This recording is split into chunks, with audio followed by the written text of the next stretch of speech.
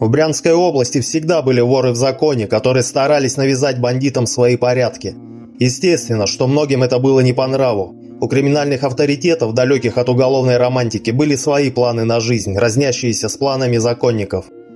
Однако в открытую выступить против воров авторитеты не могли, иначе неминуемо поставили бы себя вне закона со стороны уголовного мира. Поэтому как-то старались обходить острые углы и продолжать работать в городах, отстегивая часть прибыли в общак. Но не все безропотно подчинялись влиятельным авторитетам, признанных тюремной братьей. Были те, кто в открытую противопоставил себя воровскому сообществу.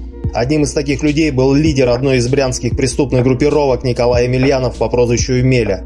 Он создал в городе банду, которая нещадно обложила коммерсантов данью. С ворами Емеля также не считался, как и со своими подопечными бизнесменами. Говорят, известный брянский вор Борис Петрушин даже высказался как-то Емельянову о том, что он неправильно ведет себя по жизни. Через некоторое время барыгу расстреляли, а его территория отошла бригаде Емели.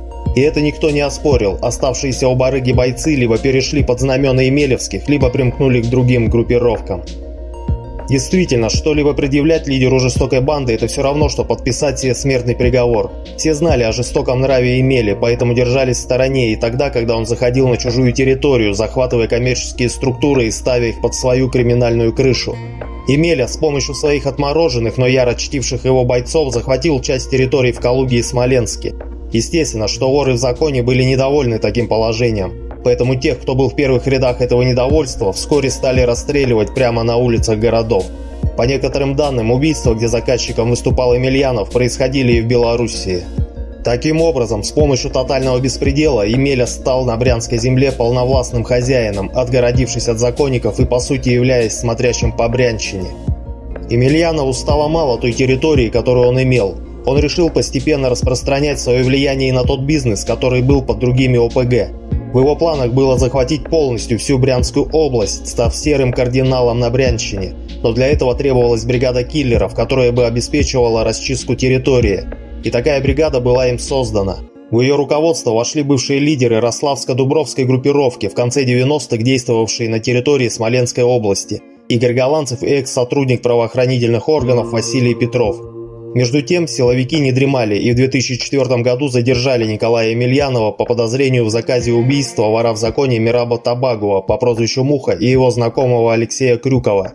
Их расстреляли 22 апреля 2003 года, когда они выходили из кафе «Апельсин». Оперативники смогли установить личность киллера. Им оказался один из боевиков Эмели, Владимир Радюков. Киллера задержали, и он дал показания против своего босса. Настала очередь Эмели обживать казенные стены а киллер, застреливший вора в законе, отправился под домашний арест.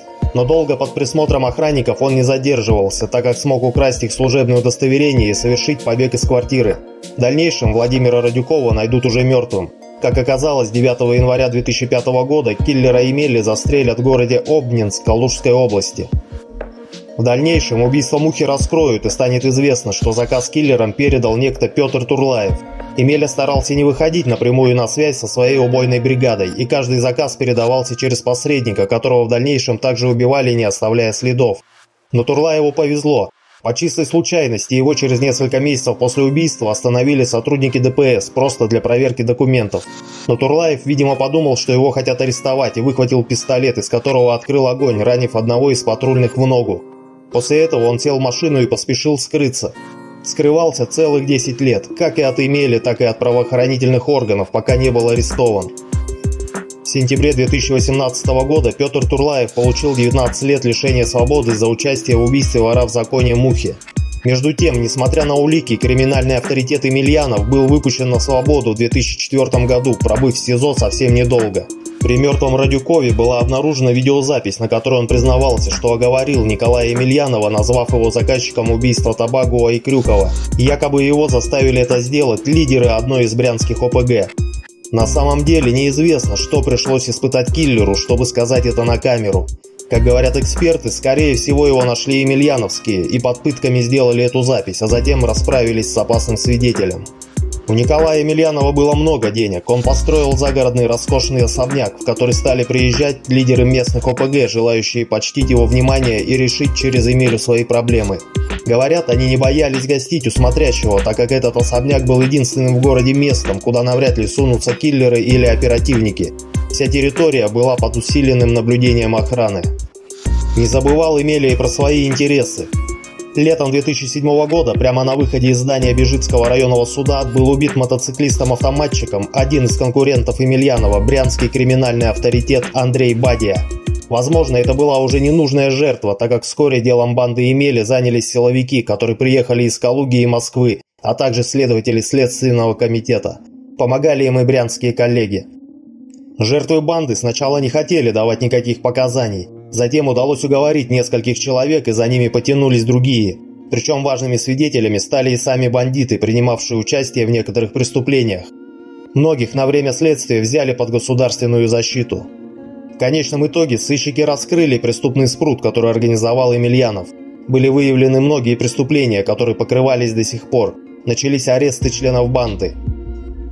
В 2015 году стартовал первый процесс по банде Емели – Присяжные неожиданно оправдали всех участников по всем вменяемым им эпизодам, кроме Петра Турлаева, которого приговорили к 19 годам за убийство Мираба Табагу и Алексея Крюкова. Уже потом выяснилось, что присяжных запугивали, угрожая расправой. В 2019 году преступники вновь вернулись на скамью подсудимых. Помимо крупных штрафов, обвиненные получили заслуженные сроки. Зама имели приговорили к 23 годам. Киллерам группировки дали 24 года и 19 лет, их помощнику 18 лет. Двое высокопоставленных лидеров банды киллеров проведут за решеткой остаток дней. Сергей Новгородов и Игорь Голландцев получили пожизненное. Что касается Николая Емельянова, то его так и не нашли. Сейчас он входит в топ-10 самых разыскиваемых преступников. Силовики решили разыскать его силами простых обывателей, назначив за информацию о нем награду в 1 миллион рублей. Это однажды уже сработало при поимке смотрящего по Карелии Сергея Кузнецова, который 9 лет разыскивался силовиками, пока не объявили награду о нем. Сразу после этого нашли желающие получить деньги и пошли на контакт с полицией. В итоге Кузнецова тихо задержали, а потом осудили на 9 лет лишения свободы. Как произойдет в случае с Емельяновым, покажет время. А пока за дела его ОПГ расплачивается средний состав бригады. Узнать всю правду про воров в законе и авторитетов. Быть в курсе последних новостей мафиозных структур. Иметь представление о том, что происходило и происходит в криминальном мире. Все это на нашем канале «Криминальный мир» от сайта mzk1.ru. Подписывайся и держи руку на пульсе.